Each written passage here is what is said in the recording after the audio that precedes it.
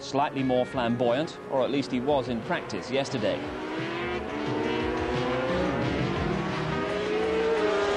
The world champion amazingly unhurt and even taking pole position for this afternoon's Grand Prix. Coverage of the 500cc race from 245.